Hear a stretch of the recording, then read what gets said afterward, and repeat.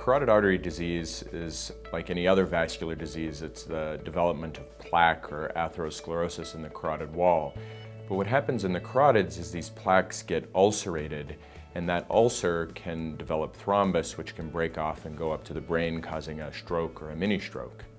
So in order to prevent patients from having massive debilitating strokes, we intervene on the carotid artery disease uh, to remove that plaque or to stent that plaque open uh, to prevent them from having strokes in the future.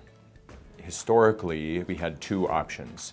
We could either put a stent in to hold the vessel open, and we would put those stents through the groin and travel all the way up into their neck, or we could do a carotid endarterectomy, which is an open procedure where we actually make an incision on the neck, go down, clean out the artery, and put a patch on it.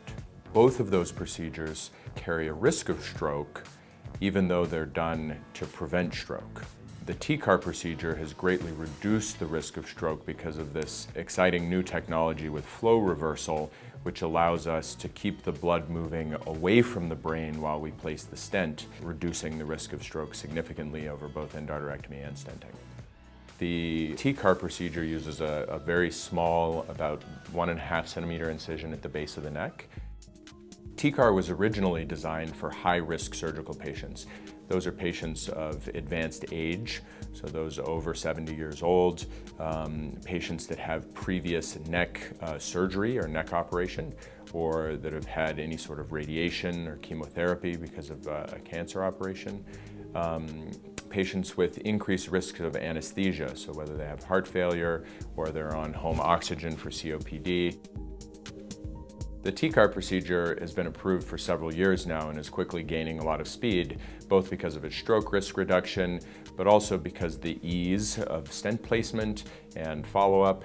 And it's really, I think, going to revolutionize the way we do carotid surgery in the future. Vascular Institute of the Rockies has the full spectrum of options for treatment of carotid disease. We place transfemoral stents, we do open carotid endarterectomies, and we do the TCAR procedure. So we can offer the patient the best possible intervention uh, for their disease process.